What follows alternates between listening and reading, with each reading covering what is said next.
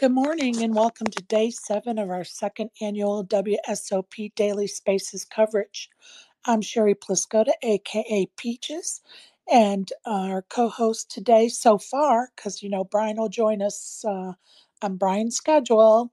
Joke, joke. Um, but stepping up and always helping out is Dark Angel Donna Morton. And today we welcome a special co host, uh, Maureen Bloechlinger, who is in Switzerland. So, good morning, ladies. Hello to me. Hi, Sherry. Hi, Maureen. Hi, I'm ladies. school run. Um, School run time. Love it.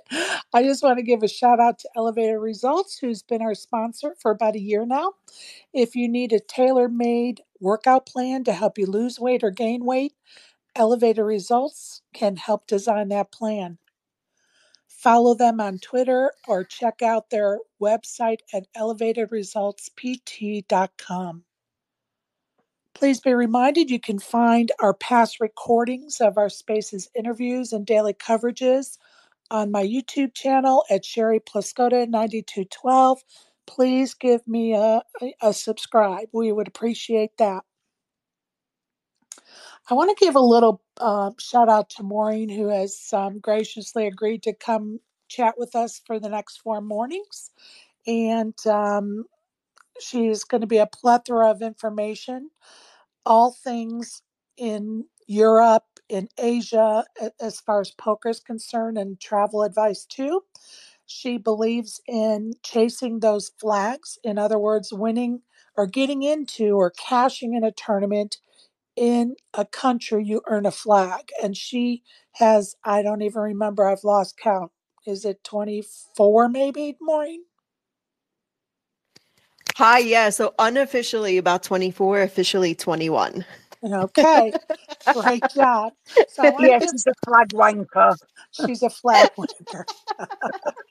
so, just some of you may remember that we did interview Maureen before, so I'm just going to give a little background to catch you up.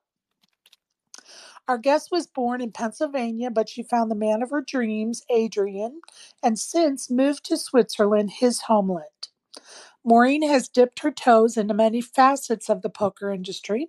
She is a co founder of PLON or Plan, the founder of two Facebook groups, Globetrotting Ladies and Globetrotting Poker. Our guest opened her own poker room in Davos, Switzerland. She's a poker tour do- guide, a dealer, and has a background in finance and does web design. Some of you may remember when Brian and I interviewed Maureen, she had turned $11 an $11 investment into a gold pass package to the F1 series in Vegas last November. Maureen is going, like I said, going to join us for four mornings this week. So please bring your questions about various European and Asian poker rooms, casinos, rules, regs, etc.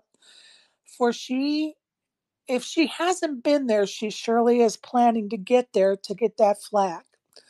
I purposely left off the most recent calendar endeavor that you've taken on, Maureen. Can you tell us about your Revolving Ladies event calendar? Oh, yeah, sure. Wow. Thank you for the intro. Um, sometimes I forget what I do. So, yeah. Um, so, since about 2016, um, I've been tracking women's events um, women's poker events around the globe. And just recently, we went through a rebranding. So it's now called Women's Poker Calendar. So hopefully, we get more traction because I do find that many casinos and partners um, host events for women, but sometimes they're not widely advertised. So I think we need to help get the word out that these events are happening, that the ladies can go and have a good time. I love that. And we appreciate you for your efforts because, like I said, it's a revolving calendar. So every day there's changes to it, and you're committed to making sure that it's to the most updated information. So we thank you. Another question I have for you, and then we're going to get on to the WSOP coverage, is are you planning, aren't you planning a trip to Africa for poker?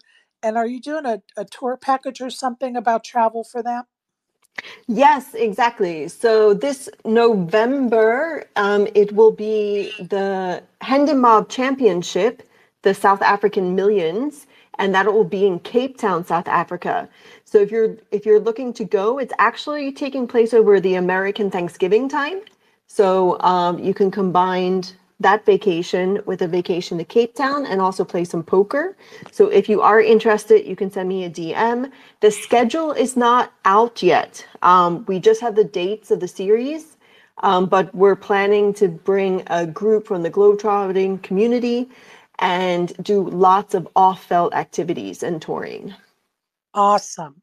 Well, it sounds like a grand time, and um, if I if I had the time and the money in November, I certainly would do it. I'll be going on a cruise with a friend in September, and I have a feeling that's going to be my uh, big splash of the fall as far as big uh, vacations are concerned. But we will look forward to your updates and, of course, your um, vlog and your pictures of what you see and do in in Africa. So, looking forward to that. Um, let's get on with some things that are going on around town. Um, Donna, do you want to start with South Point? Yeah, let me just pull it up. All right. As she does that, I want to give a shout out to David uh, Peters and his gal Haley Hannah.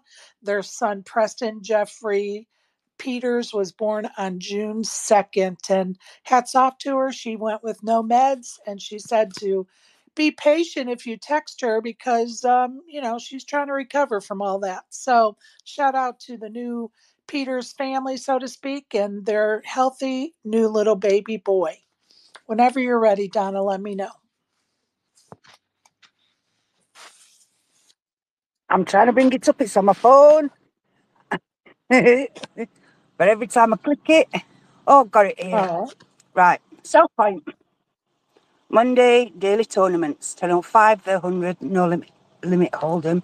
10k guaranteed. 205 is the 100 no limit turbo bounty. 3000 guarantee. 605, 100 no limit. 7500 guarantee. And my favourite of favourites, the what 1005, 100 no limit turbo, 2000 guarantee. We've also got to say congratulations to Ken, who won uh, a seat to the Tournament of Champions. Also, Anthony and Walter. They booked their seats to the Tournament of Champions on the 11th. And after a chip chop, Aaron made a great score and qualified for the tournament also. So that's the that's the qualifiers so far. So back over to that's awesome. Congrats to those uh, moving forward onto that tournament of champions. South Point's doing great stuff for their regular poker players. And if you're in town long enough, you can qualify when you're there for the WSOP. So they're doing some great stuff over there at South Point. So kudos to them. Um, I'm going to go ahead and talk about the Orleans today. They have today's the third, right? Yeah, my brain is a little tired. Orleans has Yes, thank you. the third. No limit monster stack, 30k guarantee, $300 buy in at 11 a.m. And they also have a uh, 4 p.m. no limit 1k milestone bake builder, $120 buy in. At 6 p.m., they have a no limit super stack 20k guarantee, $200 buy in. That's over at the Orleans today. Over at the Golden Nugget at 11 o'clock is their Omaha High Low, eight or better, stud eight, $300, a $340 buy in, or 25k guarantee. At 1 o'clock is their Deep Stack No Limit, 30k guarantee, $200 buy in. At 1900 is their nightly no limit hold'em 5k guarantee, $130 buy in.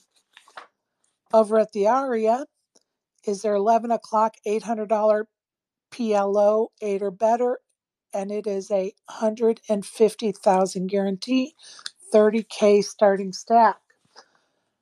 Over at the MGM Poker Room, um, the Moneymaker te- uh, Tour has teamed up with MGM this summer, and today they have a five, excuse me, a five hundred dollar no limit super stack flight C at 10 a.m. 40K starting stack, and that is a $250,000 guarantee. At 6 p.m. at the MGM is a $240 no limit double green chip bounty, 20K starting stack, 10K guarantee. Some fun stuff going on around town. I'm going to leave the other two venues, so if Brian shows up, he can cover them. Um, let's move on to the WSOP. I hope Brian's okay. I sent him a message. Uh, usually I hear from him if he's going to be late. So fingers crossed everything is okay. Although he may be trying to plan how he's going to play the shootout and get to graduation at the same time. Maybe rent a helicopter. I don't know. But anyway, let's move on to the WSOP today. And I'm going to read um, the bracelet and non bracelet events for today.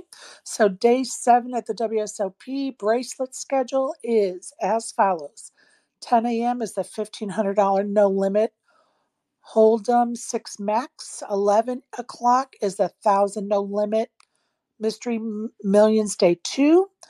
At 1 p.m. is the 10K Omaha 8 or better Day 3. At 1 p.m. is the $1,500 limit Badugi Day 2. At 2 p.m. is the 10K Dealer's Choice of Championship Day 1. The non bracelet events today are as follows 1 p.m. is that favorite 250 no limit deep stack, 3 p.m. is the $250 horse deep stack, 3 p.m. is the $240 landmark for 2000 in chips. 4 p.m. is the $400 no limit deep stack turbo. 7 p.m. is the $580 no limit eight handed landmark. 8 p.m. is the $200 no limit turbo deep stack turbo. And 10 p.m. is the $135 limit, I'm sorry, landmark for a thousand in chips. So some great events going on at the WSOP today. Now I am starting to get worried about Brian. Uh, okay, so let's. Um, yesterday, I asked us. I'm going to hold off on covering what happened yesterday, just because I know Brian enjoys doing that with me. So we're going to give him a little chance to get here. I do want to talk about. Um, I hope people had a chance to watch Poppy's broadcast podcast last night. He had Alan Keating on, and what a fun broadcast, as always. And I found it interesting that Veronica was the moderator in the chat. And of course, she's always got a great sense of humor. So if you missed that, I highly recommend you go back and watch Joey Ingram's podcast from last night. It definitely was fun. Okay, ladies and gentlemen, yesterday I posed a question or asked you to make a list of five females that um, you think have a chance to win a bracelet this year. And out of those five, I want you to give me your number one pick. So, Maureen, I'm going to start with you.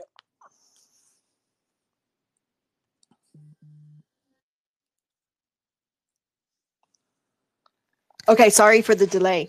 Um, I had to get myself off mute. okay, so I actually made a list of 12 just in case I went last, that I would have some options. gotcha. So we're going to make you narrow it down and you give us your top five. And guess what? If those others aren't mentioned, then we'll go back to the others. How about that? Okay, cool. So um, I as you mentioned, um, I am in tune with like the worldwide poker world. Um, so some of my um, picks, um, maybe this chat hasn't heard of. So I would say my number one pick at the moment. I'm gonna slaughter her last name. So it's Diana Volsky. She's okay, just spell she, it. Uh, just um, spell it for us. V O L C O V S C H I.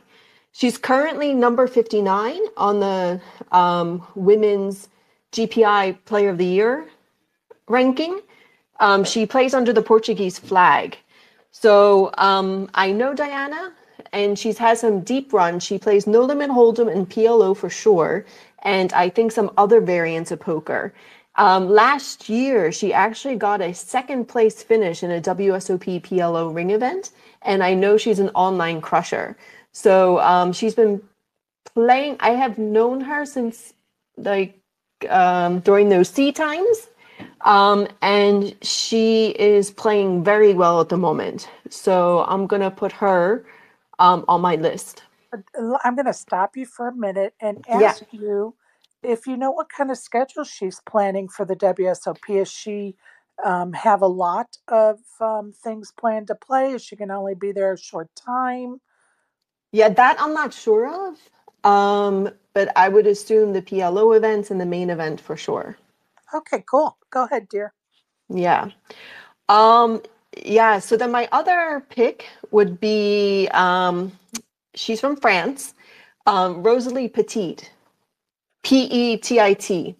Right. She's also in the top 50 at the moment for the Women's um, GPI Player of the Year. Um, she's a professional player.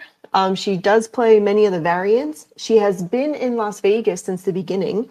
Um, so I've been following her Instagram updates. She's also a strong online player, um, has been having a good year. So she's my other pick. Awesome. That's Rosalie Petit from France. Yeah. All right, go ahead. Okay.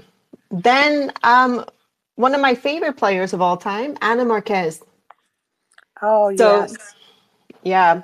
So um, as we know, she grinds with the well, well she she's an ACR pro. So she also played some of the Triton High Roller this year. She had some finishes at EPT Monaco. She always um, plays strong. Um, and I think it just needs to be her time. So Anna Marquez under the right, I'm gonna Spanish flag. I'm going to stop you there. And I'm Mm-hmm. going to let um, Donna give her give three picks, and then we're going to go back around. I'm going to see if you're listening right now and you um, have some picks. I know ASG, you were sh- given some shout outs yesterday. We'd love to have you come up and give your opinion or your choices. So anybody else, Todd or or John, anybody, uh, you're more than welcome. Just give us a request in the bottom left corner. Donna, go ahead. Yeah, I'm going to choose a friend of mine who's been a friend since Caitlin was two. She deserves a shout out. She's the one that got me into poker and got me into all this chuffing mess. My friend Rosarie Murphy or Rosarie Roberts.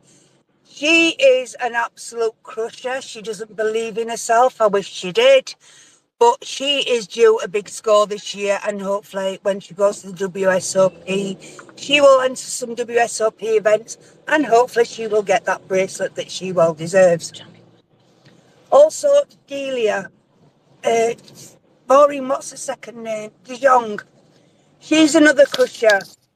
Yeah, the Um, GG. Um, I think she was Team GG. She's Dutch, correct? Um, Yeah, she's another Ah. crusher. It's Matthias's uh, fiance. I don't know whether they've got married or not. Matthias Muldhausen's fiance, but she is a total crusher. I can see her going deep and maybe winning a bracelet. And also Laura Eisenberg as well. I can see Laura doing really, really good things this this WSOP. I think this year is going to be a year for ladies crushing. It's about time. And I want to wish all the ladies over there that's going heading over there, uh, enjoy yourself, have a good time, network, um, and just do your best and go crush. Amen, sister. Okay, I guess it's my turn. Uh, of course, you know, last year when I started to uh, put out some names of those that I think should be inducted to the Hall of Fame, this person's name was on that list as one of the three. Uh, JJ Liu. I'm happy to call her friend. She is such a crusher. She has st- stood the test of time. Um, she's been on a bit of a roll. I think that um, she definitely can be one of the ones to win a bracelet this year. And I also went a little bit old school with Kathy Liebert. She's also a crusher that's been around for a long time and makes lots of deep runs. As far as somebody that may some may think is new onto the scene, although she isn't, but she's been making a splash recently, Victoria Livschitz. I think that um, she's going to make a great run. And as a matter of fact, I have her as my number one pick to uh, win a bracelet this year. So, Maureen, go ahead with your fourth and fifth pick. Um, sure. So, um, the next one I have is Shiina Okamoto. So, um, she plays under the Japan flag. She's a GG pro, and she's probably familiar with a lot of people because she was runner up last year for the WSOP Ladies Championship. Awesome. That's a great name. That's a great name. I love that. And who's your fifth And- pick? Um, I'm just looking at it. And then I also have um Casey Mills. So as we know, Yeah. this year, um, she's been crushing. She won two rings, kicking off in January in the same series. Um, then she she seems to be playing high buy-ins. So I think she's used to, you know, the the pressure, the performing, um, you know, final tabling, the ICM pressure, everything. So I think um, she she's going to surprise a lot of people. I would say that. Awesome. I, I agree. She's been crushing. I can't think of her nickname. Um, Poker Mama- Mama. Poker Mama. Thank you. A lot of people will know her by Poker Mama because um, social media seems to bill her by her Poker Mama name instead of Casey Mills, which, hey, both will work, right? So that is your fourth and fifth pick. And Donna, who are your fourth and fifth pick? Maria Ho, obviously. And I did have one, but it's just gone out my head. Oh my god. Um, you'll have to come back to me on that one. And if I decide to find, if I if I remember, then I'll just blurt it out. That's okay. And I don't think anybody would Oh, I disagree. don't, I don't know. Lisa Renko Roberts. Wait, I say that again, Donna? Lisa Renko Roberts. I think she's a. I think with Scott. I think she's due a win. She is. She works hard. She does really work hard, and I love the woman to bits. She is due a win, and I hope that she manages to get a bracelet this year. And for those that may not know, uh, Lisa Remco Roberts used to be on Real Housewives. So some people know her from that, but she is a crush, crusher on the felt. Her and her husband travel together. They are a poker power couple and they both crush it on the felt. So great pick, Donna. For me, my fourth place pick is going to be Kathy Chang, who is just a crusher in limit games. And we're going to have an interview with her tomorrow morning. Our show starts at 9, but she's going to come on with us around 9.30 and um, give us the lowdown. But she has been on a heater the last few months, and we'll go over that tomorrow. But I picked Kathy Chang to be the uh, first woman this summer to win a bracelet in a limit game. So that's my pick for that. And I can't, you know, everybody knows, or you've heard me say a million times probably before, that um, I really like Kristen Fox. I just think she's an A1 class act in the world of poker. She is everything right in the world of poker as far as female players are concerned. And she is a damn crusher. So I also have faith she's going to win a bracelet this year. But for some reason, Victoria's name keeps, um, you know, it keeps shouting out to me that she's going to be the first one. So that's my top five. Uh, I'm going to invite John to go ahead and have a, a stab at it or comments or questions. Go ahead, John. Uh, you just took my my pick. I was going to say Kristen Fox. And Well, think of somebody else that you think uh, Well- has a good chance. uh, I think Olga's going to come do good things after Game of Gold and after all the drama earlier. I think she's going to come show people she's actually a good player and not just a pretty face. So I think Olga's going to do well too. Oh, that is a name we have uh, yet to mention, although she may be included in Maureen's 12. Um, yeah, she's a crusher as well. And, and you know, I really enjoyed watching her on Game of Gold. It was, uh, I enjoyed that whole thing. I, I can't wait for the ne- next episodes. And I hope they, you know, keep it um, pretty close um, to what happened the last time. You know, I don't mind variations of, of changes, but um, let's not ruin a good thing. And sometimes the second season, they try to go for too much, right? So, John, how are you today? I'm good. I'm good. School's out. I'm cleaning up my office and doing some studying and listening to the podcast Well, we or the or appreciate the you. space. We appreciate you. And school's out for summer. That's Why That's does right. that always come to mind, right? I love it. Absolutely. I love it. I'm glad you joined us. ASG, do you have some questions or comments or your picks? Uh, well, a few of them have already been mentioned. So uh, let's see. Of people who haven't been mentioned, I'll go uh, Juan Lu. Oh, yeah, definitely. Crusher. Uh, I'll go uh, Baby Shark. oh, I love it. That's a great pick as well. How can you argue any of these names we've heard so far? Um, go ahead. Thanks, ASG. ASG. Worm, worm in my head. Baby shark, do, do, do, do. Baby shark, do, do, do, do. We're having a musical morning. I love it. Um, go ahead. Um, and uh, Lexy Gavin. yes. Well, you know, we love Lexy.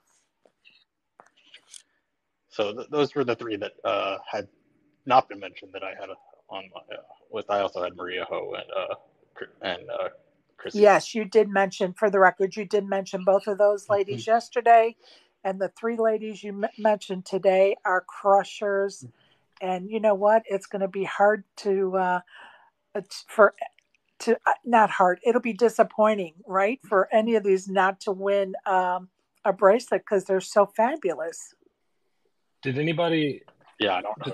did anybody else pick up um oh I forget her name now. The book Gavin's book this summer. She released a book about tournament play this summer. I picked it up on Amazon. I got started on it, but I haven't quite finished it yet. Just curious I- if anybody else got it. I have not gotten it yet, but I'm actually thinking about getting it. Uh, when I gave away the Jeff Lisandro book, I actually was trying to give away Lexy's book, but it had not been um, put on the market yet. And so then I went with Jeff's book. So I'm still thinking of maybe in the next couple weeks do a Lexy Gavin book giveaway. And of course, whenever I do something like that, I order one for myself as well. So uh, I'll let us know what you think.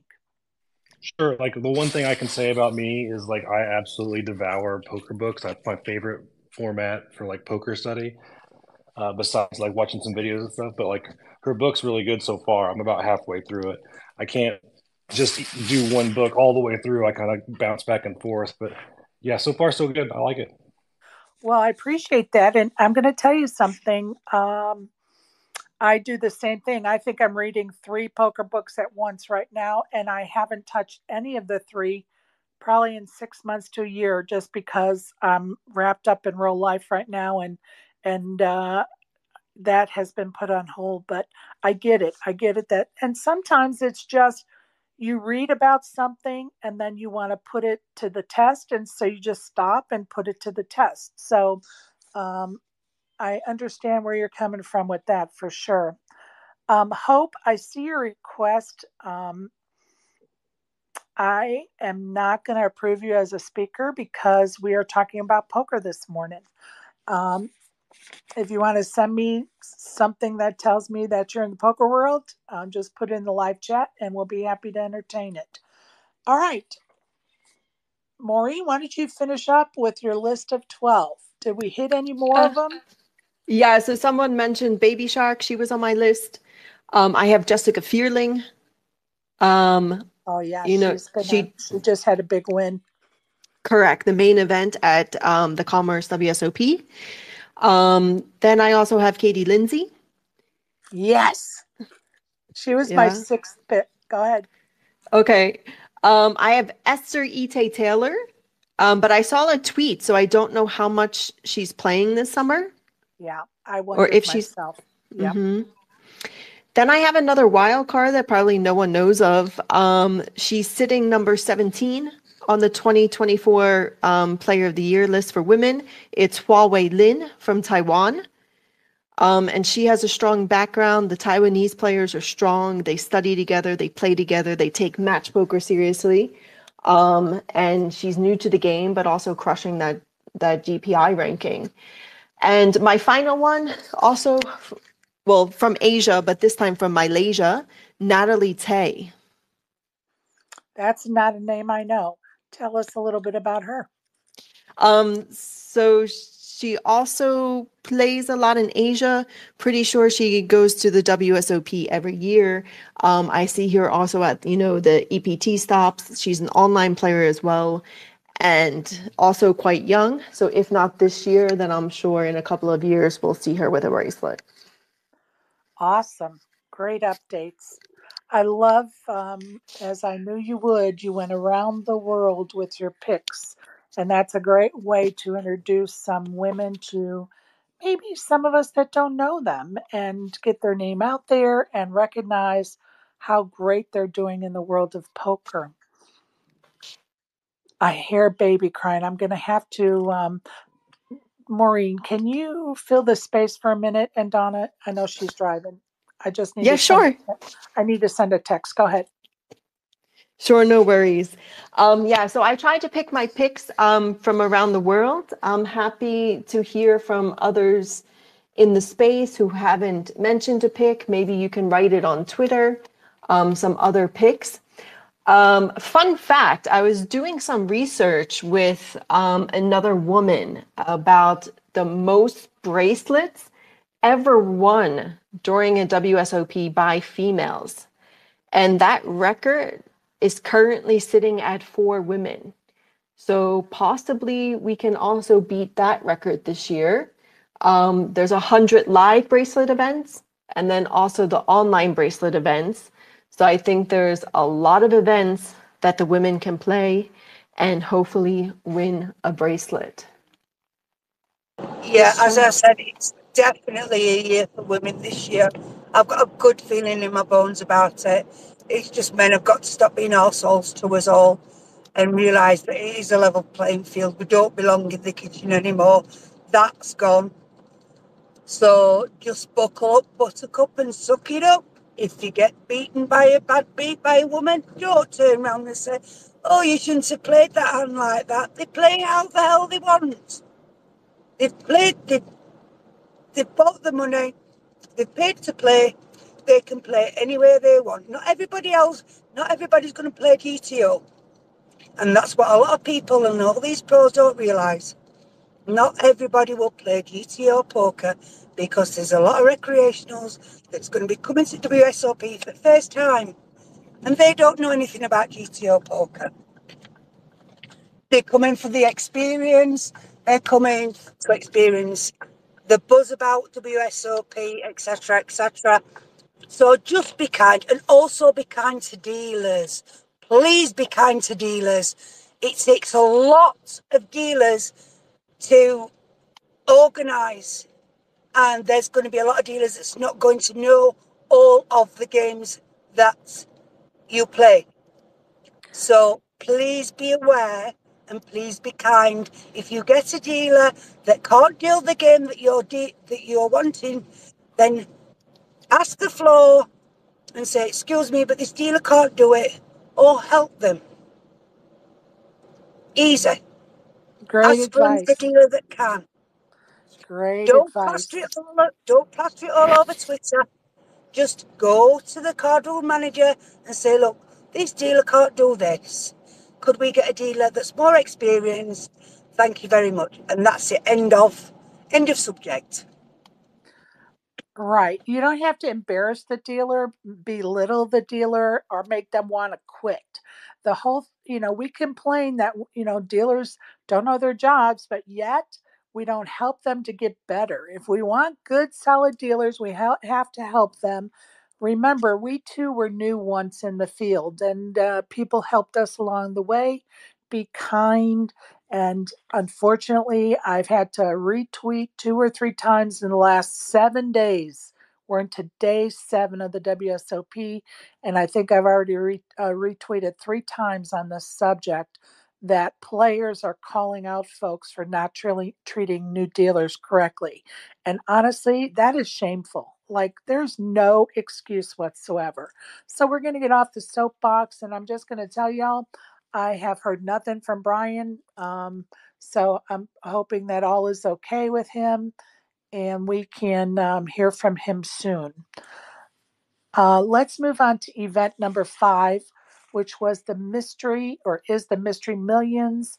The prize pool is $16 million, a little over $16 million the entries by flights. This is like so many entries. Flight A had 2,247 entries.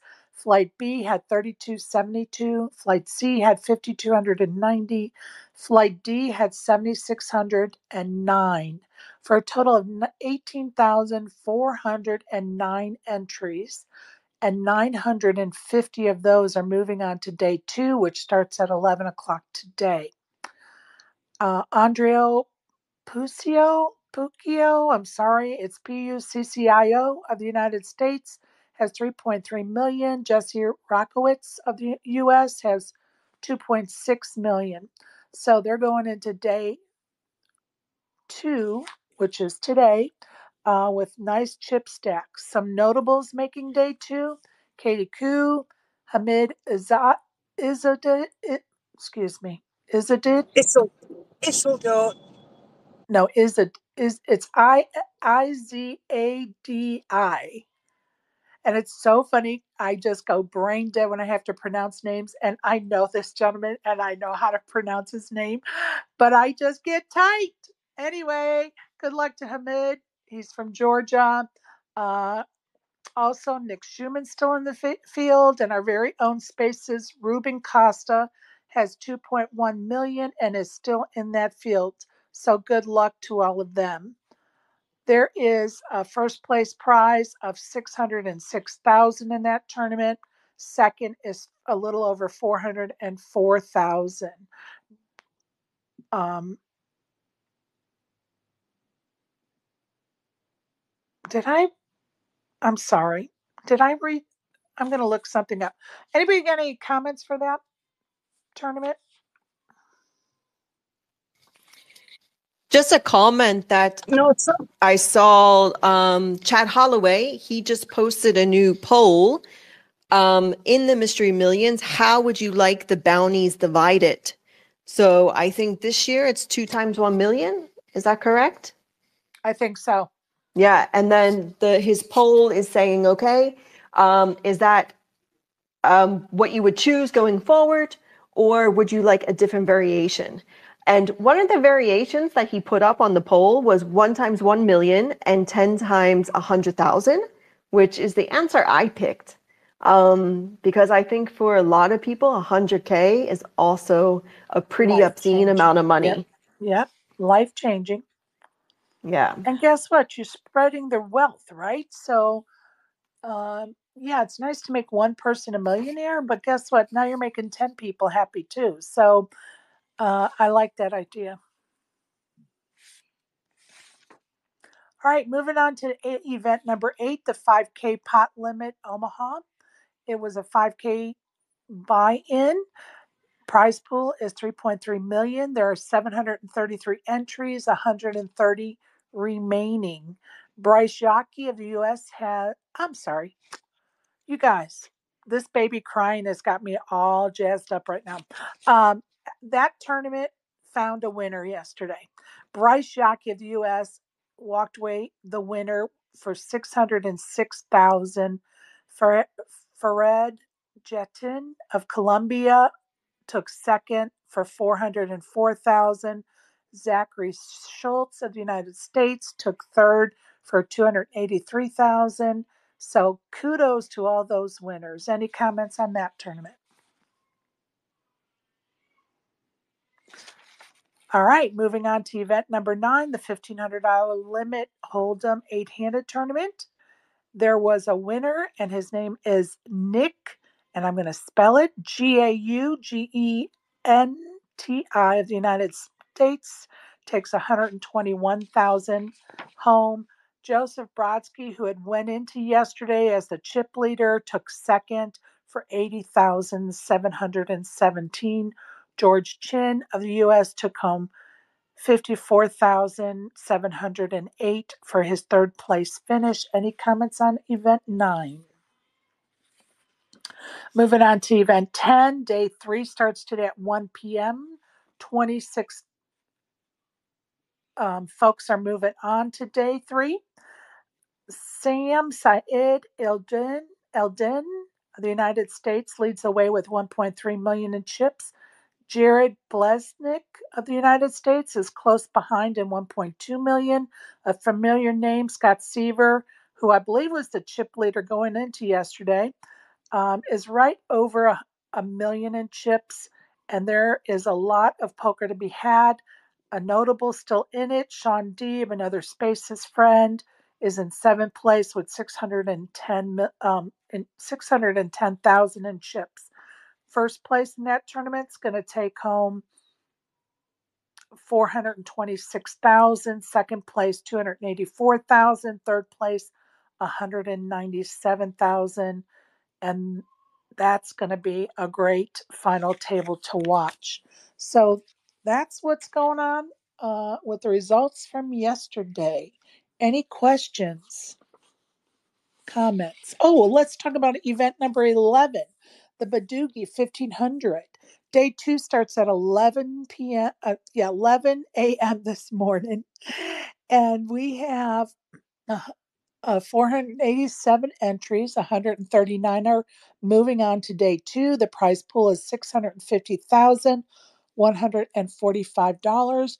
Joseph Wagner of the United States leads the way in chip stacks with 286,000.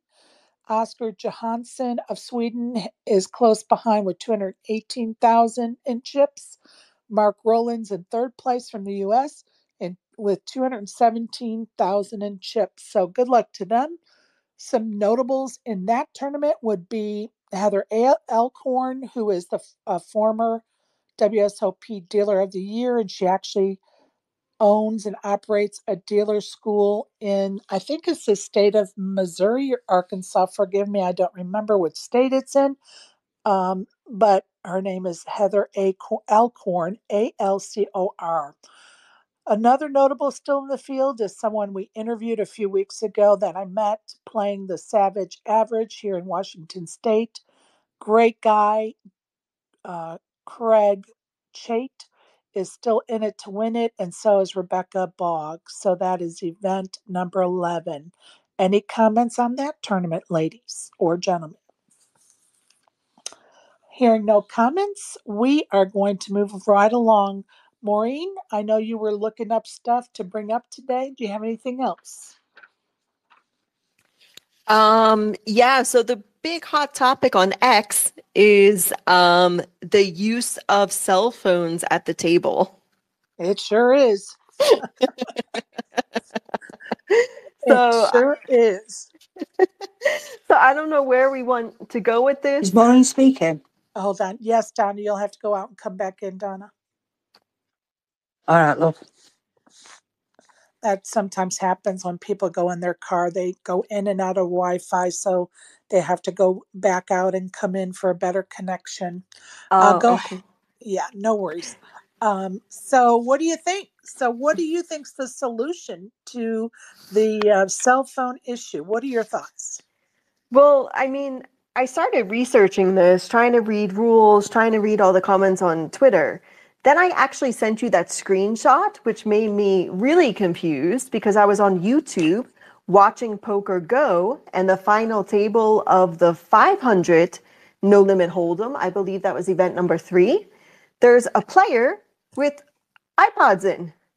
So I honestly have no idea what's going on because I was always under the assumption that if you're on the TV table, like no electronics whatsoever, like no cell phone, no iPods, no music, no headphones, blah, blah, blah. Um, so honestly, um, I don't know what's going on. For me as a player, I just want to know, okay, what is the rule?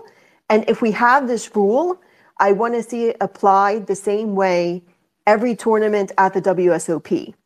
And Well, and around the world, right? Like that's the way to make it um, a natural a natural thing for people to be doing. We have to do it the same way across the board everywhere. Makes it easier for players to know what to do or not to do. You know, those rules have to be in place and enforced. And like I was making the point yesterday, we have rules, but they're not being enforced because if they were, we wouldn't be seeing pictures of cell phones sitting face up during a hand with a solver on it. So the rules are that are in place are already not being implemented, and that's a problem too. So go ahead, John. Yeah, I'm hardcore on the. I would like them to ban cell phones at the table. Period. Um, if you can't go to a tournament and play without on your phone, then you have other bigger addiction issues. And it's really, I mean, even if you take that away from it, it's from a from the enforcement side, it becomes a nightmare when you say, well, you can do this and you can't do that on your phone. Like, there's no way dealers or floor or whoever can can monitor that. So that it's really just I think we, we, back in the early 2000s, mid 2000s, there was a ban on phones at the table. Everybody was fine, and I mean, I think that just needs to be the new rule. Just ban them at the table. Well, you want to be on your phone, get up, walk away, do what you need to do, and come back. And see, I am hearing you loud and clear, and I agree with it. I agree that you know it's a plain and simple solution. No more cell phones. Why? Because we went from no cell phones to, oh, we can do this only with cell phones. And of course, you always have people trying to push the envelope, trying to get around, skirt around the rules because they don't apply to them. And you know what? Now it's ruined it. It's just absolutely ruined. A few people have ruined it for everybody. But the solution, in my eyes, is to get rid of the cell phone altogether at the table. They're not allowed uh, at the table. They're not allowed, I don't know about in the room, but um, they're not allowed at the table to be seen at all. Now, why is that hard for me to say? Because I'm not a person on my phone at poker tournaments. Maureen and Donna can both tell you because they both have been trying to get a hold of me at a poker table and I'm not looking at my phone. However, I do bring my phone out when I have a, a hand that I want to document that particular, you know, most importantly is probably Pocket Jacks or Beat by Pocket Jacks, for God's sakes, because it's my journey of Jacks. But the point is, sometimes I want to take a picture, right? And so then I want to bring my phone out and take a picture. And so that stunt rule is going to affect my social media capabilities, being able to update you know what i'm doing why because i may have a staker or my family just wants to know my whole social media presence was born out of the fact i have family all over the united states and some are in different countries and so my whole social media presence was born for a communication tool because people are texting me how you doing in the tournament and i found it easier pardon me to just make a post an update post and trying to answer individual uh, DMs when I finish a tournament or get a break. Why? Because I'm supposed to be focusing on my poker. And so it's really, it's even though it pains me to say it, I'm all about no phones whatsoever at the table at this point. And it's really because people just don't even go by the rules that are in place now. Some dealers enforce those rules, some uh, dealers don't. So the players are like, well, I'm just going to try. And if he tells me to put it away, I will. If not, then I get away with it or whatever their mindset is. So, anyway, anybody else have any more comments? ASG, what do you think about it? Uh, I think they should be more strict, I guess, in their enforcement of, you know, at the table all in a hand, but taking them completely out is just unrealistic, impossible, etc. Like you can't we are now in a cell phone age where you can't just not allow them at the table even when you're not in the hand. That's just not something that I think is feasible. I appreciate your opinion, and I I bounce back to that old. Let's th- look at what's happening in the pit, and every gambler that's ever been to a casino, and we all know that's 100% of poker players. They've all been to a casino they may not play in the pits, but they certainly probably know, or at least 90% of them know, that when you sit at a table at a pit at a pit setting, there are absolutely no cell phone, phones allowed. And guess what? Those players from the pits get up, walk away to use their cell phones, and come right back There's not a problem with that. But that's the point is they they walk away and come right back. You can't like if you miss a hand, it's critical in poker versus if you miss a hand of blackjack. Yeah, but you know what? There's nothing going on on your phone that's so important to miss a hand. My point exactly. My point exactly. Go ahead, John. I was just going to say it's a risk versus reward. Like, is what's going on on your phone worth missing a hand or not? It's a choice you have to make. And when it comes to enforcement, I'm telling you, as somebody who has to deal with it with people who want to be on their phones in a classroom and aren't supposed to be, it's way easier to just say, if I see a phone at all, I'm taking it versus, well, what are you doing on your phone? Well, because they'll always try to, to hide or deny what they're doing. So, like, as an enforcement way, it's just way easier that, like, you know, phones are gone. If we see it, they're done. And if Oh, I agree. That's why it should be while you're in the hand, then you can't be on your phone. When you're not in the hand, you can be on your phone. Like that's clearly, I think, is the rule, should be the rule, etc. But like, if you're on your phone, still at the table, then you know, as long as you're off your phone by the time you get to your cards, that should be fine. Well, that's basically the rule that's in place now that's not working. Well, it's not working because it's not enforced. It should get be enforced harder. At you know, I was I've been in casinos where it is enforced Well, more. and you know, it all depends on that dealer. And because it's not being uh, enforced unilaterally across the board, then we have to take a different approach because what's going on now is not working, obviously. So there has to be a different way. and we already talked about dealer abuse and I, and I would say that one of the fastest ways for a new dealer to get abused is try to tell somebody hey put your phone away or you can't have your cards. I've seen that happen so many times. That's like the number one like cause of dealer abuse when i'm out playing. And why not take that pressure off the dealers as well so they can focus on dealing the cards and not babysitting a jackass that's on their s- cell phone? I yes don't and i just want to i just want to add it's i think it's twofold right? So you can be on your cell phone but then the other pictures that are popping up on twitter is okay the rule is you can't use your cell phone during the hand. So once i'm out of the hand can i pull up my gto wizard on my cell phone and use it? Well, and part of that Of ruling, course. ruling is that um, the WSOP reserves the right to penalize you if you are using that GTO, i- if they deem necessary, if you're using that GTO, even if it's between hands. There is a rule that states that. So they're taking, you know, they're looking at that going, whether it's during the hand or not, when it comes to GTO or solvers. I shouldn't just point that solver, but uh, solvers being used. uh, They're also looking at it in between hands, and you could get penalized for in between hands. So obviously, they see that as a problem.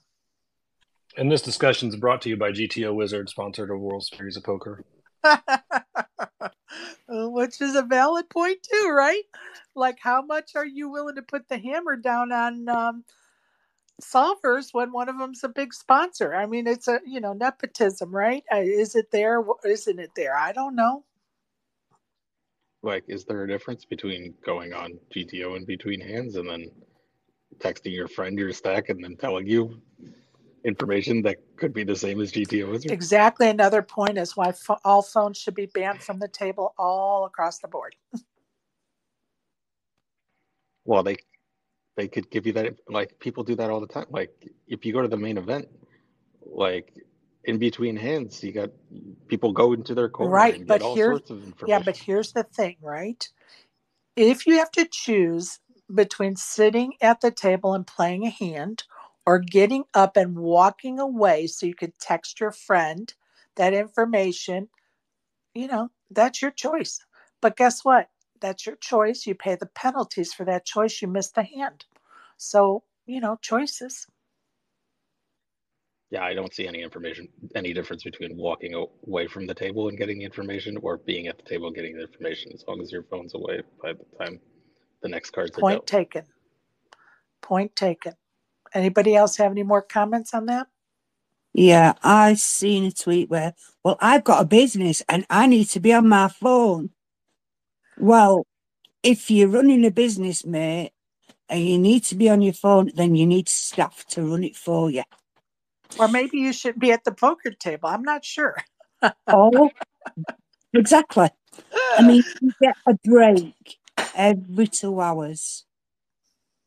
So, what is it stopping you from every two hours taking your phone out and texting people? People know that you are playing poker.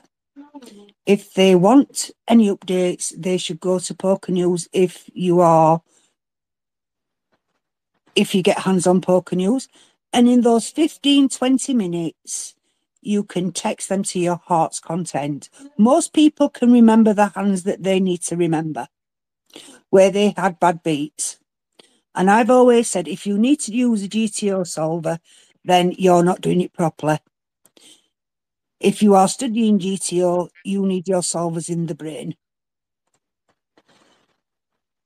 And what happened to people playing by actually looking for tells? Using the brains and actually thinking about what do I do in this situation? You don't need a flaming wizard to tell you this. It's only advising you it's not 100% guaranteed that the GTO wizard will be right. Right, it's just a guide, to a guidance. Yeah. What happened to instinct?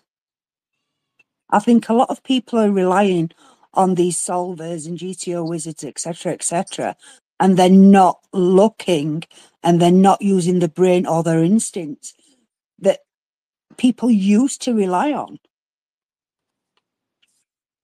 They think the GTO wizard and solvers are the be all and end all, but what they don't realize is they are playing against recreational players, as I said earlier. They are playing against recreational players that might not know anything about GTO strategy. So it is what it is. Just play your game. You don't need your phone.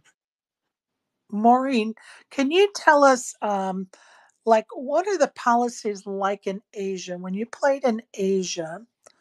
Like do they have are you allowed your phones? You're not allowed your phones. What are what's the policies like in Asia? Um, I believe they were stricter. They were also stricter on acting out of turn, would serve penalties out quicker. And um, in general, I found when I played in Asia, like Taiwan and um, South Korea, that the players were very respectful. Um, they, they, they approached the game differently, um, in my opinion, than in the US. That, you know, if you're at the table, um, you you studied your you, know you um, enough to be there and and the game is handled completely different i would say So they come in prepared. yes And so um are cell phones out or not? um maybe just to look at a message quickly and then back in the pocket Gotcha. Okay. yeah yeah So ne- never slowing down the game. no no not in my But with the, experience but with the Asian culture, they are so reliant on selfies and photo and pictures of everything that they do. I mean, you look, they post about the wanted to, to comment on what Donna was saying is I think that so many people misunderstand what solvers are actually for because she's right. It's all about using a solver as like a base guideline for if you have absolutely zero information. It's not like the play by play what to do. And so many people don't understand that. And that's why they're on their solver so much. Like you can study a lot and still have the same information.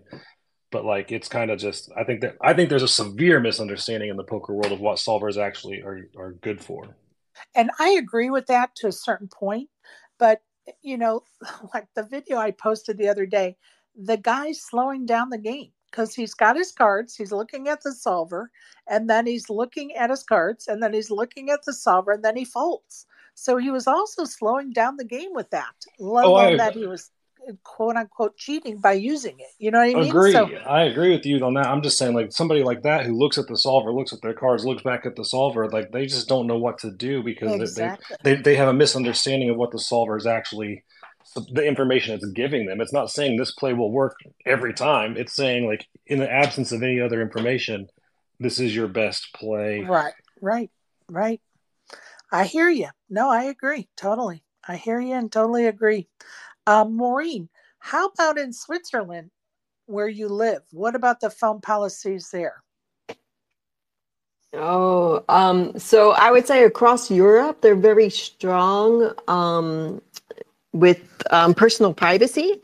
In some clubs, there's a no picture rule. Um, and if you take a picture, you need like the club owner's permission. Um, we also, in Europe, you're allowed to play under a nickname and have your results published most of the time under a nickname. The exception being when WSOP Europe comes to town then you have to, you know, provide your real name. Um, so, so it's quite a different, um, you know, philosophy here. I would say I, I, I was just at King's at the weekend, King's Casino in Czech Republic. Um, many people are on their phone, I would say, not slowing down the game, mostly watching different um, sports on their phone and movies. Um, I haven't experienced it myself with people pulling out their solver at the table. I would say during the break, though, when we're away from the table, many people have their um, phones out with GTO Wizard and other solvers, just um, checking some spots.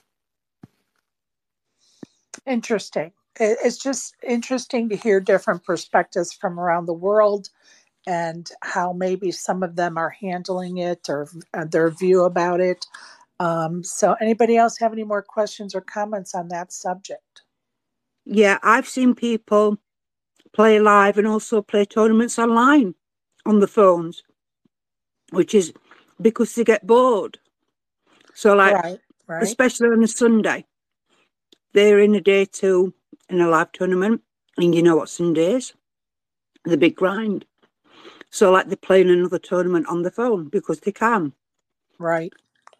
Right. And I know like JJ Liu, she'll watch a movie. Uh, I've seen people do books, you know, books on tape, so to speak, and listen to a book while they're playing. And believe me, I know there's lots of reasons, positive reasons, but unfortunately, those are ruining it for the, you know, the the ones not going by the rules are ruining it for the ones that are. And it's unfortunate, but you know, it happens every day in our lives. It's nothing unusual that the minority of some group, in this case, the minority of, you know, people trying to cheat the rules as far as phones, is ruining it for the mass. And it's unfortunate. And it's going to be interesting to see how they can get around, um, you know, enforcing the rules once they put them in place. Because we see today the rules, some rules are in place that are not being enforced, and it's, you know, it's snowballing into other issues. And it's unfortunate for those that try to do the right thing. Uh, Maureen, And go I ahead, ASG. wanted to throw in with what Maureen was saying with the headsets. You know, last year there was, um, it really didn't gain much traction outside of spaces, I think. But uh, during the main event, Toby Lewis was wearing sunglasses that had the ability to uh, record, you know. Um, now, I'm not saying he was using them, but like the fact that that wasn't like something that's still like in the rule book as not against the rules, you know, that's an issue as well. Right. And some, uh, there were a couple of well known pl- uh, players that tweeted about it. But like you said, I think in the spaces, we talked about it more than anybody else. And we were all like, wait, why isn't this like a big deal right now? And I think it may have been because we had some players just behaving badly at poker tables, and that was taking the news feed um, priority over this topic last year. But I agree with you. There should have been more um, brought about that and said about that, discussed. Yeah. I mean, maybe it was just my feed, but I felt like the well known players were saying how dare people accuse him of cheating, not Yeah. like having an issue Yeah. with it. And uh, it just goes to show you what some of them are, you know, they're right on board with uh, things that work against the rec player. You know, that's out and out cheating. If you're using a camera and then you have an ear plug in, an earphone in that you can, you know, somebody's feeding you information, you're feeding them information and they're feeding you information. Hello, we're worried about solvers and you're going to allow that go on. Come on. Apostle 2. Apostle Part 2. Okay, what am I doing wrong here? Hold on. I'm trying to get Brian up here. Brian, I'm trying to get you up here, bud. I'm not sure what's going on. Um okay. It shows Donna as a co-host and everyone else as speakers, but when I try to bring Brian up as a co-host, it says I have two Yeah, you need co-hosts. yeah, you need to uninvite me.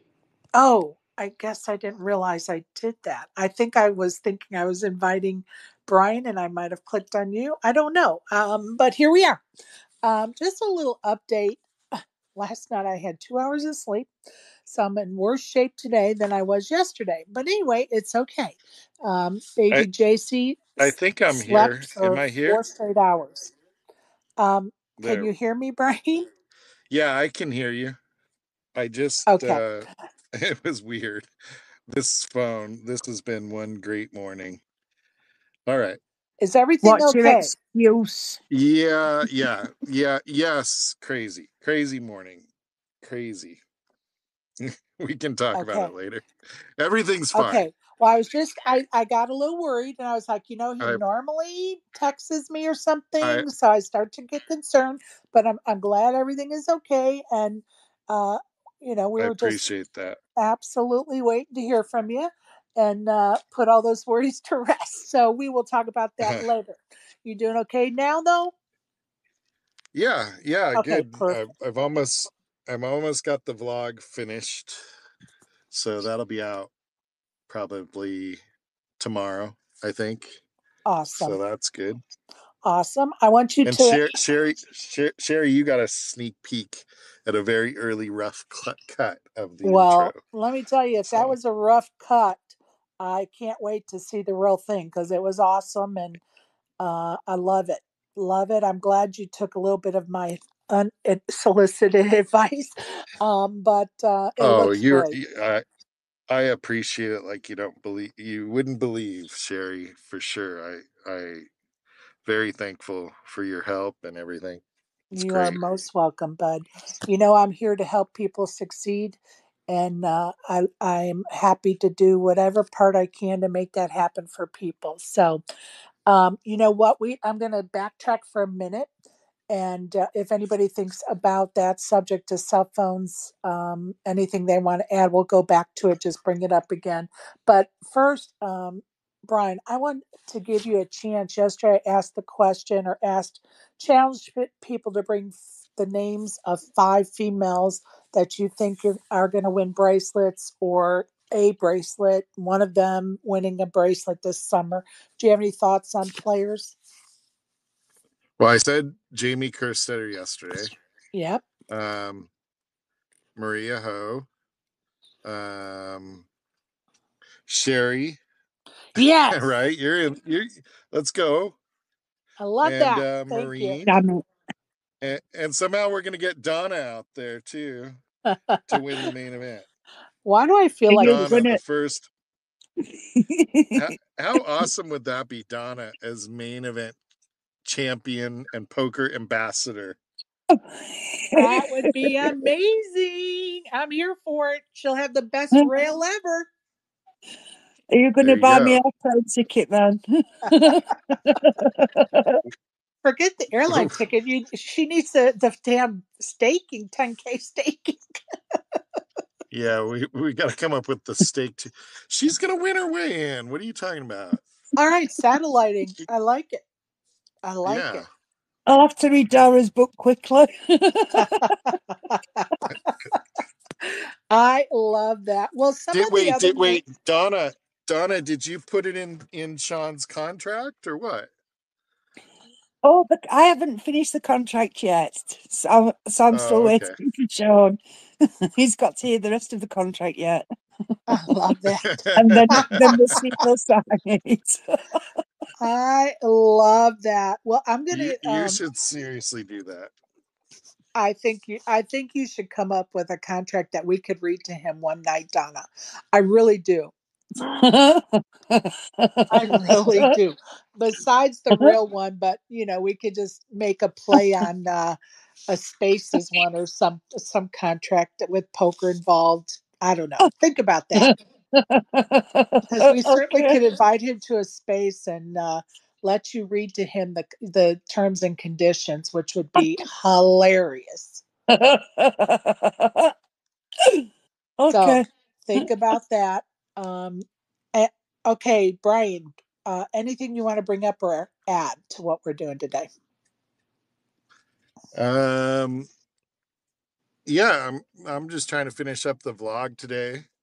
So as soon as that's done, want to get that out and um, yeah, I, I I'm really conflicted. I want to go out there and play Wednesday, Sherry, but um, the deep I'm- stack, man, it, that's going to be a good event. But All right, Brian.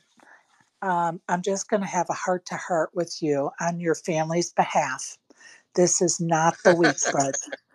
All you have to do This is today is week. Monday. This is not the week, my friend. I'm trying to give you some advice, trying to talk you off the cliff. This is the I, week I'm learning family. this. I'm, I'm learning this at 7:30 this morning. My wife says, "You've got to be at the graduation walk for the elementary school that she went to." I was like, "What are you talking about?" Oh my gosh, it was it's crazy. So you grabbed your Crazy. camera and you ran. Yeah, that too. It's crazy. So let me go back to this conversation about Wednesday. Brian is not, repeat after me.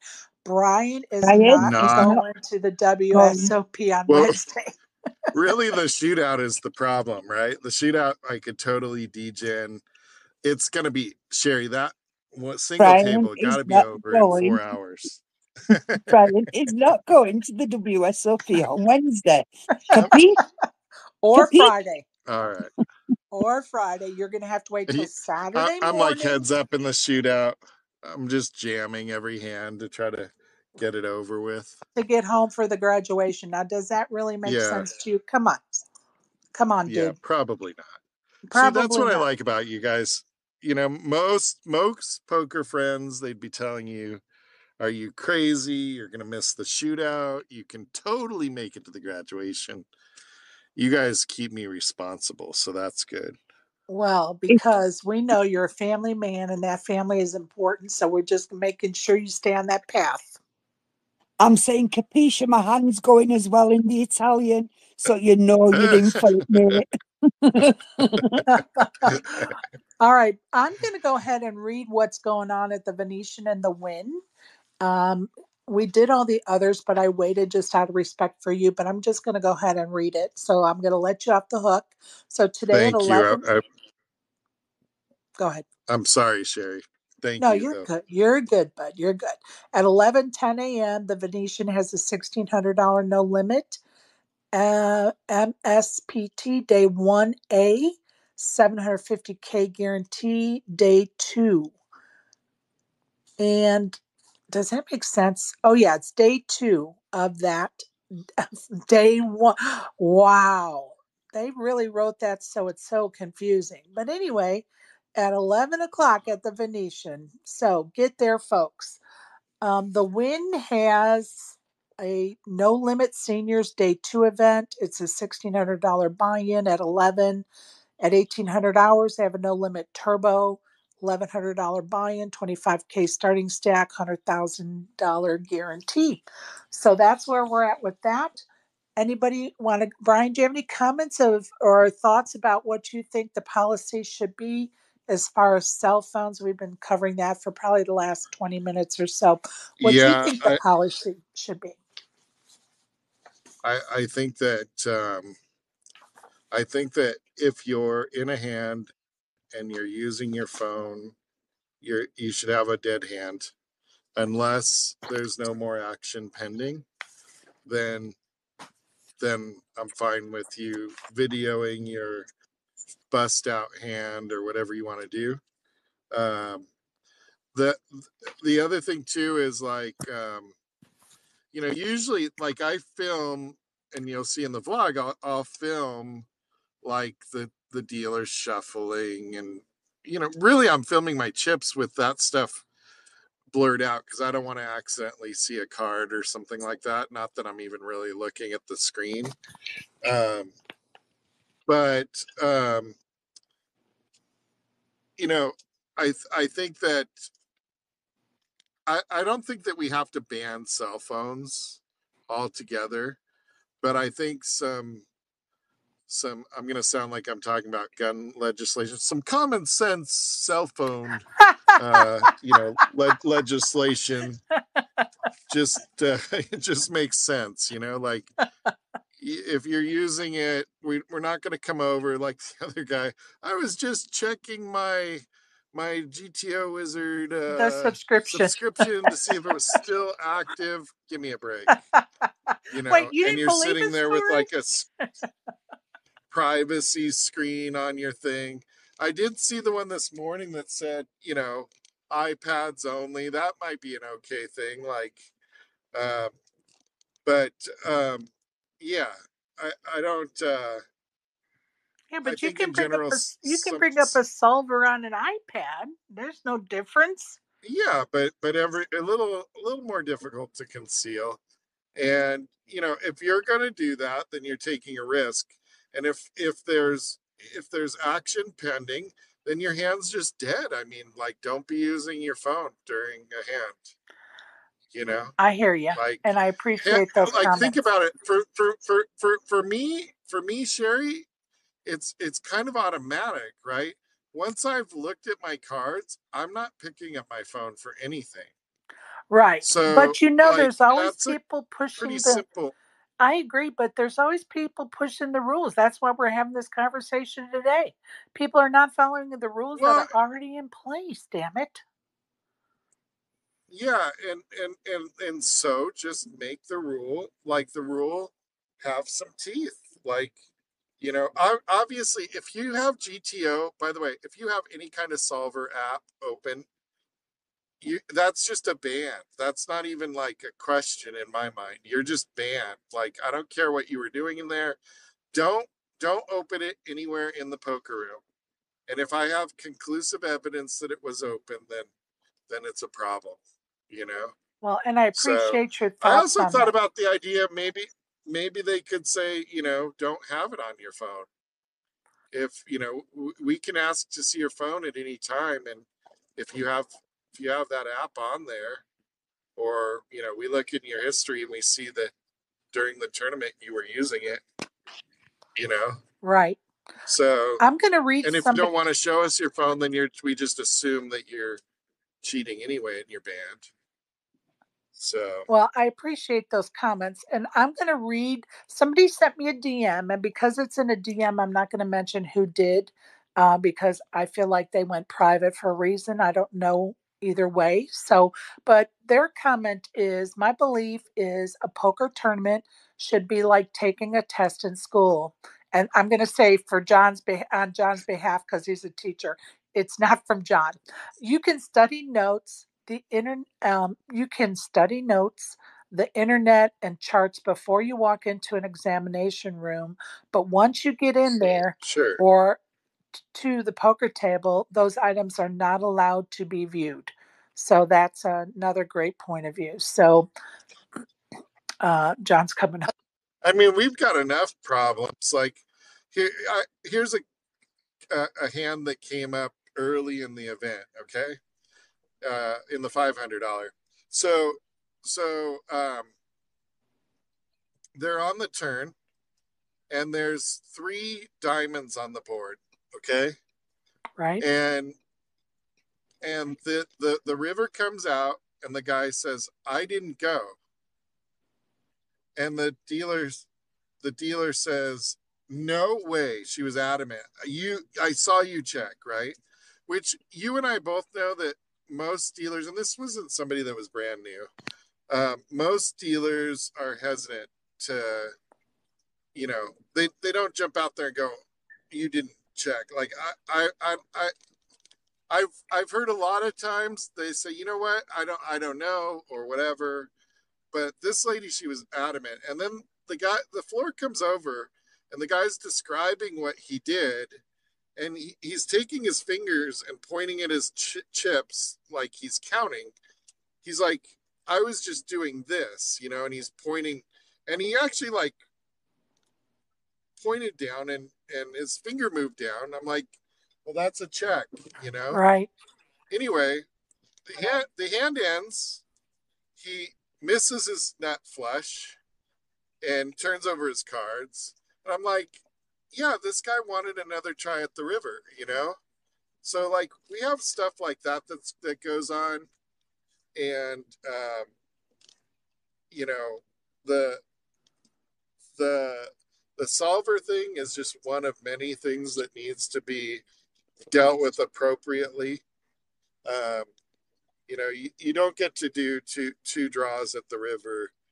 I mean, honestly, like when that hand gets turned over, I don't I don't know. Like as a as a floor person, I I'm probably issuing. I don't know. I, I don't, what what should you do there? I'm going to tell you what. Everybody thought. I'm going to tell you what. I'm going to let Maureen answer that. Uh, answer your question, Maureen. What do you think they should have done there?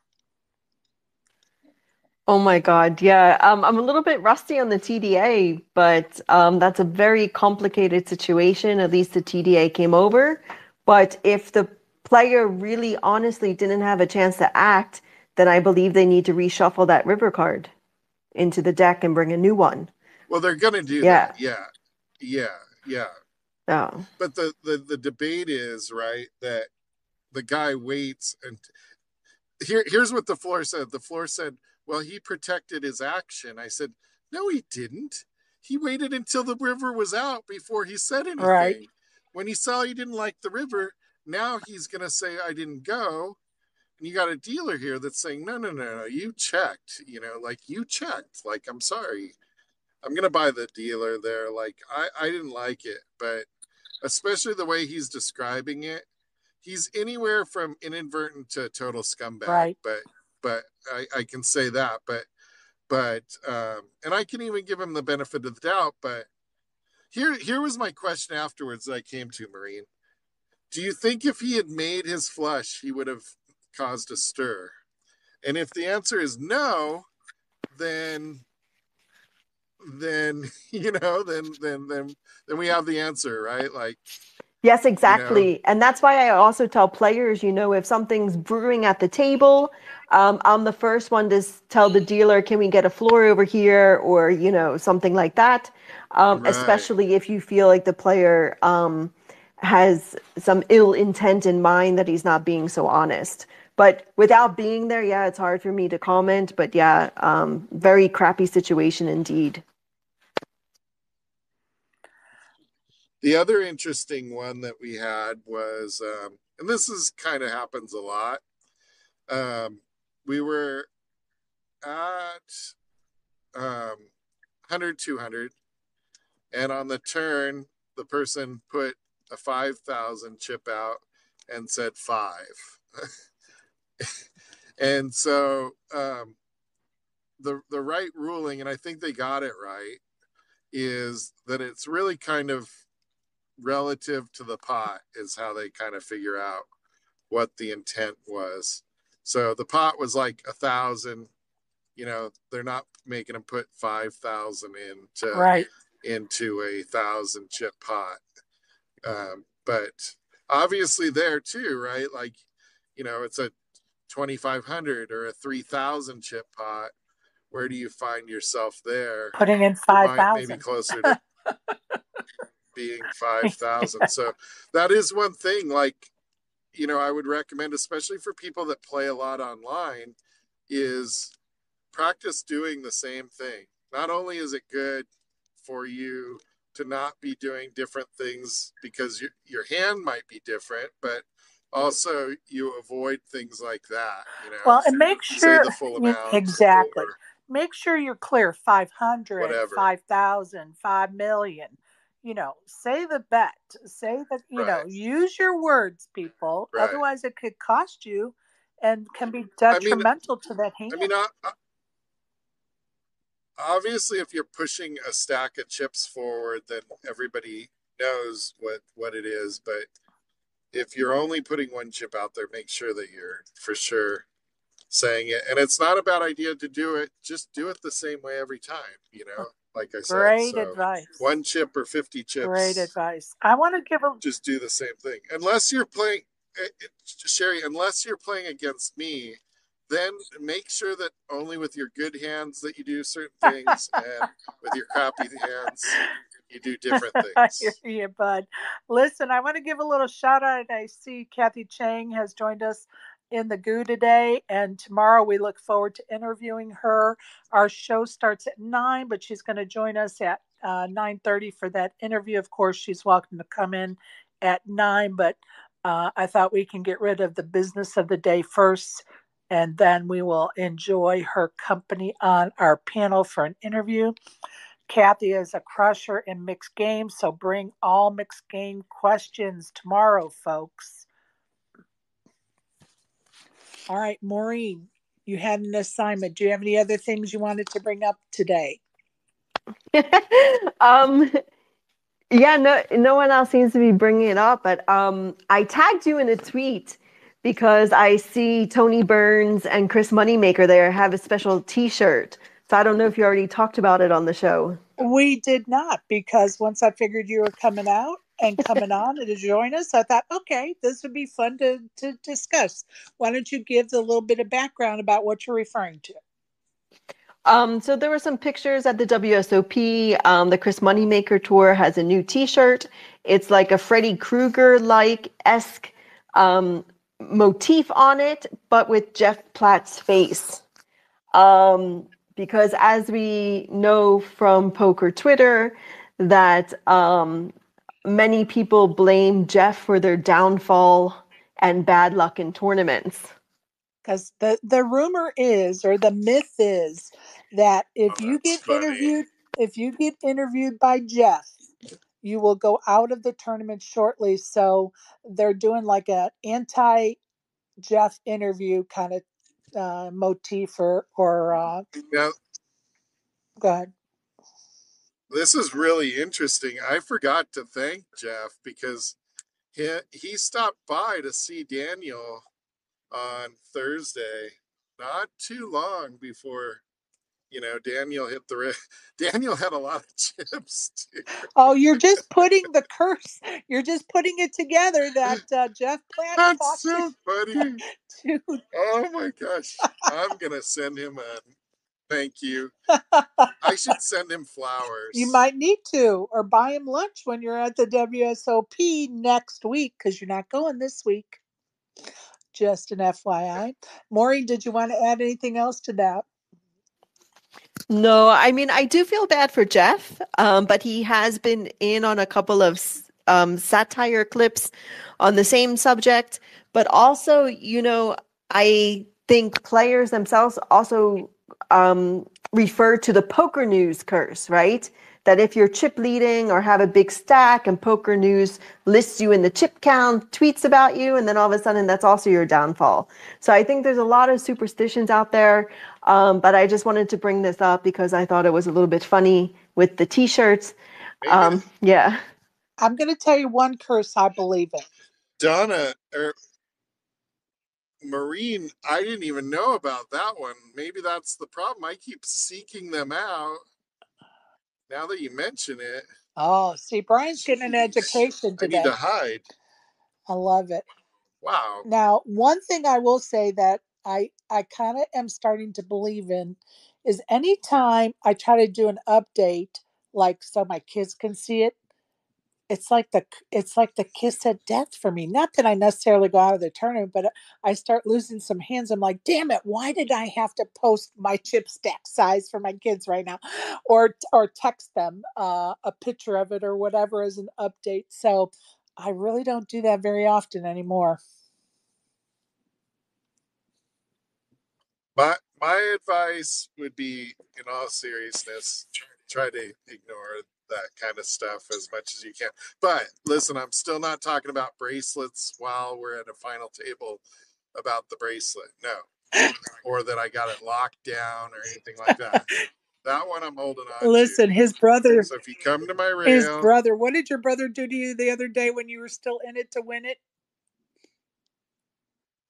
he's like, What what time is the final table? I'm like, you did not just ask that question. The curse. So as much The as I'm like, curse. don't be superstitious, guys. It's just, it's just, uh, whatever. Well, listen, the one thing I do want to cover that I haven't yet today is some inductees to the Hall of Fame through our a look at history. So between the years of 1994 and 1995, there were no un- inductees. And I actually reached out to a friend of mine who's been in the poker world and and would know the information as to why not. And he really didn't have an answer. So I, I think I might still ask some questions about that today because I am What curious. What what years did you say, Sherry? 94 and 95, but there's some others as well as I go on here. Uh, in 1996, So oh, go ahead. yeah, um, at some point, Binion's almost closed, but I think it might have been later than that. Oh, that was too. So actually, there you should go back and look, Sherry. There's a really good article on that, by the way. I know this is a side topic, but on uh, there's a story that I think PokerNews did about when Binion's almost missed the 2003 World Series of Poker. I think it was 2003, and just it's just such an interesting story. Like six weeks before the tournament, like Caesars takes over, and uh, Okay, so this is this what we're dash to even so this is what we're going to do. Brian's going to look that article up for tomorrow and bring it to us and put it in our chat so we could discuss I it. give myself homework. Yes, you do. Okay, Because that sounds all good. right, so let me move on That with sounds good, this. and I'll I'll go through it. In 1996, Julius Oral, otherwise known as Little Man Popwell, was inducted to the Hall of Fame. Julius gained his nickname from his billiards prowess as a boy. He regularly beat men over twice his age. After the war, Little Man operated lotteries, craps tables, and card games in his home, and he and he was raided many times. Eventually, he was convicted of tax evasion and incurred a four hundred thousand. Um, in, uh, he incurred 400,000 in penalties. In 1997, Roger Moore uh, was inducted. A fun fact about Ro- Roger is he owned a golf course in Georgia. In 1998 through 2001, there were no un- inductees. Again, I'm going to try to figure out why today. In 2001, uh, I'm sorry, between 98 and 2000, in 2001, they inducted Stu the Kid Ungar. He was known as the best gin rummy player in the world. He started an underground gin rummy game while he was a youngster still in school. Stu became the youngest WSOP champion of the time, and today that title is now held by Joe Cada. Stu almost didn't get a chance to defend his title because leading up to the event, he had a heated exchange with a dealer and spit in their face. So that was a big controversy leading into um, the uh, fa- the year he would have defended his WSOP title. Um, any comments about those folks? I think he almost didn't make it to the tournament too, and and be, because he was probably partying or something. I don't know. yeah. And uh and who bought him in? Somebody bought him. Wasn't it in. Mike Sexton? I want to. Somebody well I think it was Mike Sexton. Probably Mike yeah, I think it was Mike Sexton. and he almost didn't make it to the first break or something crazy.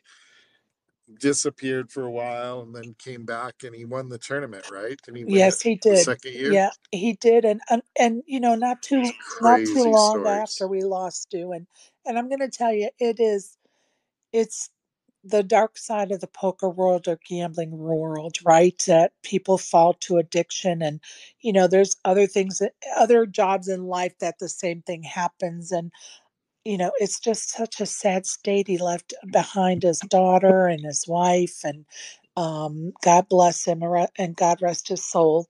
Uh, a great gin rummy player, a better poker player, um, and a character. Just, I love watching the old clips with him. I wish there were more of those clips because um, he just fascinates Well, me.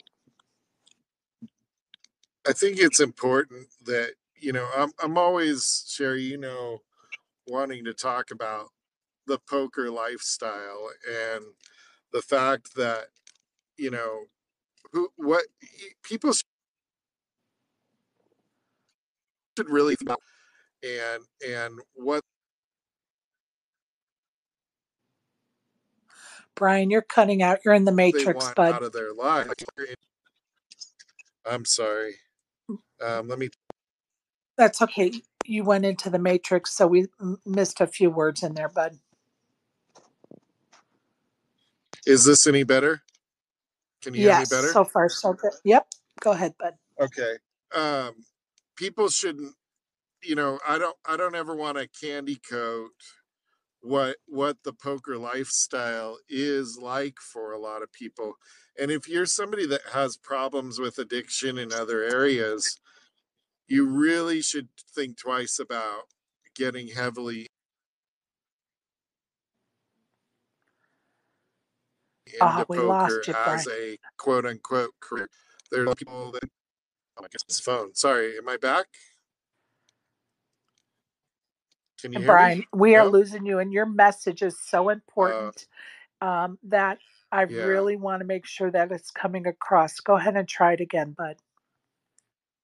Okay, if not, I'm going to be in a better area in a few moments. But um, it's it, it's very important that you consider if you're thinking about being a pro, not only doing the things that you need to do to be a pro and not bullshitting yourself.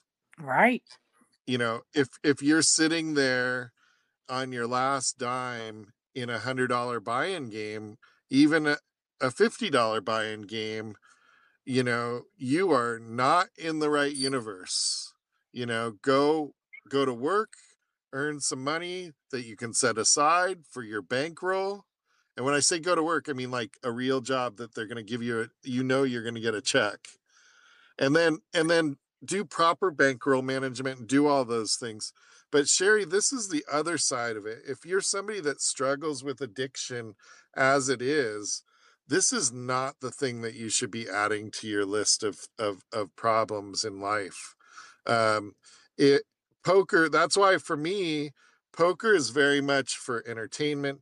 Yeah i'm serious i want to win i want to win a bracelet badly but last year i sat at home because i didn't have the money. Yeah i wanted to be there i very much wanted to be there. I saw all the tweets that we sherry and i were doing the show I, I played one event. I played the tag team event, and mostly that's because um, I didn't have the money. I didn't have the money to play, and if I don't have the money, I'm not playing. I'm not going to borrow the money. I'm not going to, you know, I'm not going to, um, I'm not going to put myself in that situation. So I'm going to tell you a little story. there's a lot of people I'm like going to tell you a little story. Um, part of why I started selling peaches was to pay for my poker. And there have been two years, and last year was one of them, that I didn't sell one peach during the summer because the peach crops were frozen out and we didn't have any peaches to sell. And I can tell you Right. that I made a commitment that I would never take poker money out of my family budget. Like if I wanted to play poker, I had to earn a you know, I've dealt home games before to earn money. You know, I've done other side things to earn money for my poker bankroll. And I always made that commitment that I was not going to take funds out of my household funds for poker. Right. And a few right. years ago, um, people that know me know when I go to the WSOP, I'm probably playing three or four tournaments. Like one year, I think I had 16 tournaments picked, but it was the year my mom died. And we had not buried her yet. She died a few months before, and by the and then my daughter got married uh, right before the WSOP. So by the time I got to the SOP, I was just exhausted and slept most of my 10 day visit. I think I ended up playing two or three tournaments out of 16 I had planned to play. And, but my, um, I wanted to say that I usually have two or three that I have picked out of what I would call a bigger buy in a thousand dollars, five hundred dollars, whatever. Uh, and then I like to play the nightlies or a s- smaller turns. That's my budget. Why? Because I'd rather take a thousand and play two or three tournaments than just one thousand dollars for one tournament. And one Right. year I was going to be in Vegas. I don't remember how long, two or three weeks, and it was a long stint. So I really needed to spread my my funds out for the whole time I was there.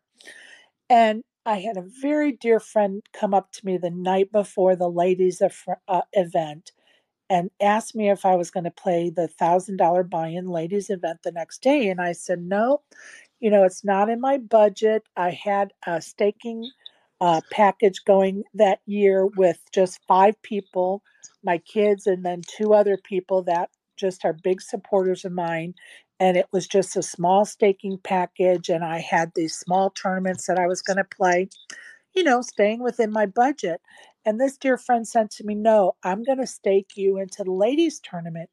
And you know, I just looked at her and said, Look, that's a lot of money. I just don't know if I can agree to that. Like, it made me so uncomfortable because it Yeah. was her hard work earned money and she was, you know, thankful for our friendship and things we've done together. You know, she had her reasons and I appreciated those reasons so much, but it was very uncomfortable for me to even have that conversation. And I know she probably thought I was nuts when I was like, I can't let you do that. No, we're not doing this. And then I said to her, Right. but let me talk, let me think about it, and I'll let you know in about an hour. And I actually called a little powwow. I don't know if I ever, I don't know if I ever made this public, but I called a little powwow with my kids were all in town with their significant others, and I I sent a group text message out, and I said, "Meet me at Harrah's um, uh, food court in 15 minutes." And of course, everybody descended, and I I told them what was going on, and I think it was Natalie or Nick. I think it was Natalie looked at me and said, "What seems to be the problem? Why aren't you saying yes to this?" And the other kids were like, "Yeah, what's the? Why did you have to have?" And I was like, "It's just uncomfortable for me to take someone else's hard work earned money, right?" And so I did agree to and come up with a plan that we would go 50-50 on that tournament and I would reallocate money I had for other tournaments in that package um, through that conversation with my kids to you know this ladies tournament and i'm going to tell you something not only was i so touched by the offer but i was so excited when i cashed Yeah, for sure. um, that tournament yeah. because it was a tournament i had not planned to play and someone had faith in me and put their faith in me through their dollar. And it was nothing made me happier than to hand over you know our winnings from that tournament. I came in 91st That's cool. out of like 968 players or whatever the hell it was and in, in the top 10% and let me tell you that's a memory i'll never forget. So i thank that angel. Yeah, and that's, That's- definitely that's not awesome. like that's something that your Nat would say. I I know that. I know that oh brian put you're me in the cutting main out one brother year. go ahead Sorry about that.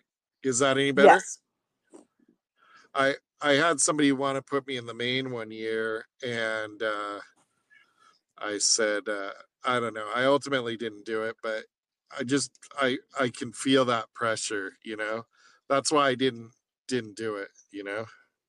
you know i'm going to tell you i had somebody i was truly just a rec player until i had somebody approach me a good friend of mine approach me and and offer me a main event seat and i'm going to tell you what i told him this was like february of that year and i said to him no thank you know my my son nick and my son ed were with me and this guy drove like eight hours to come talk to me face to face he wouldn't even do it on the phone he drove like eight hours from biloxi to harrah's north carolina cherokee and he said, I just wanted to have this conversation face to face. It's like three o'clock in the morning. I'm like, dude, what is going on?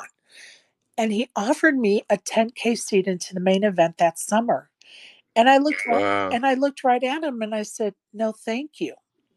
I can't take that from you." And my sons are like, "What the fuck is wrong with you?"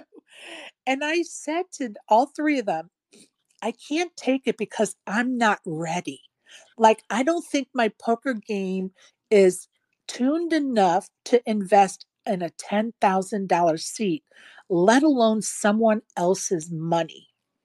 I and so then I said to him, "But from this day forward, I will study and I will work on my game. And when I'm ready, if you're willing, I will take you up on that offer." And he said, "Bet."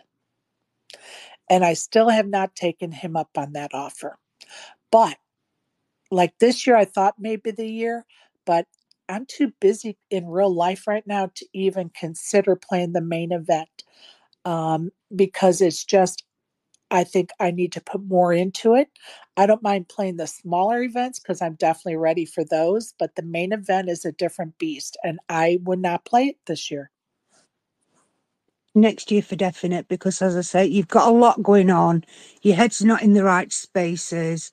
And I think it's something for you to plan and look forward to next year so that everything's going to be behind you, the baby's going to be worn, and like there's going to be a lot more for you. And hopefully you'll have a lot less on your plate because right now you're Gigi and the baby's only little and she needs taking care of. Yeah, we've had a, a lot of issues with baby and mommy the last three days, and it's it's been rough, but we're making it through.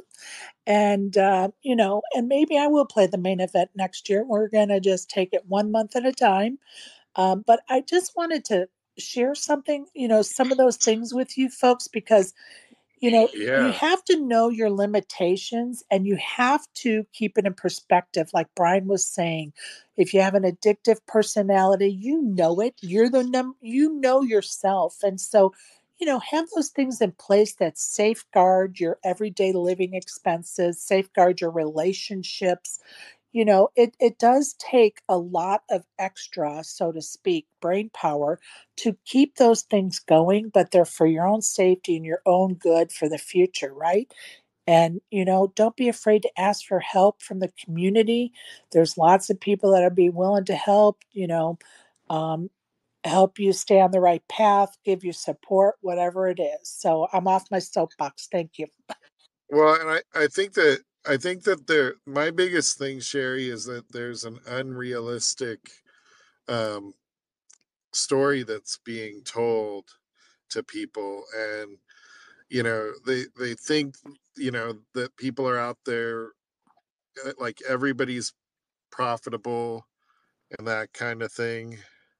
Um, it's not all it's um, not all roses and sunshine right? And unfortunately in, in yeah, social media um, we want we're promoting the positives right? Because we want to stay focused on the positives. But like anything else in life there's also downsides right? And we all need to be aware and conscious of those downsides and hopefully help anybody that's you know struggling and I'm going to change the subject right now and move us along. So I'm going to ask um, the panel if anybody else has any questions or comments before we shut it down. So I'm going to start with Maureen. No, I think that's really good points. Um, I know, especially with the series, sometimes you know peer pressure kicks in as well, and it's like you know why aren't you playing the Millie? Why aren't you playing the monster? Um, and that's the advice that I also give to you know um, players who come to me looking for advice.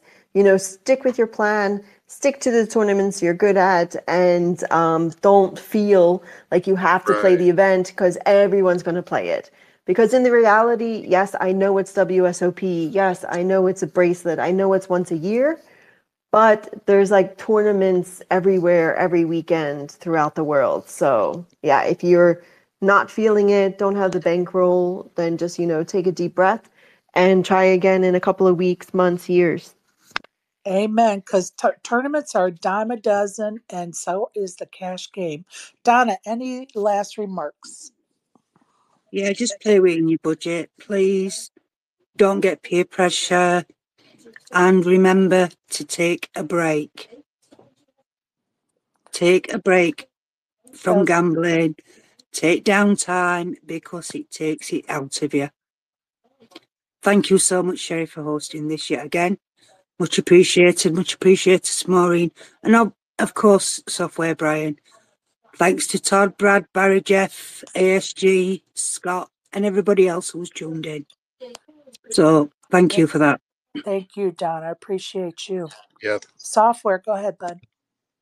Yeah, thank you, my friends. Appreciate all you guys. Uh, look forward to. Uh, I'm definitely gonna wait till after our show tomorrow to release the vlog.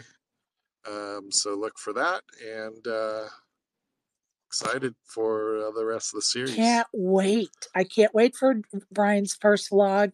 If it's anything like what he's been doing on Twitch, it's going to be lots of fun. And there was an, I did put an update on the fantasy poker league on my Twitter account so everybody can see what the standings were as of like three o'clock this morning. ASG, thank you for the help as always. We appreciate all of you listeners and my co hosts this morning. I appreciate all of you. Much love. Good luck on the felt today. Have a great day, everybody.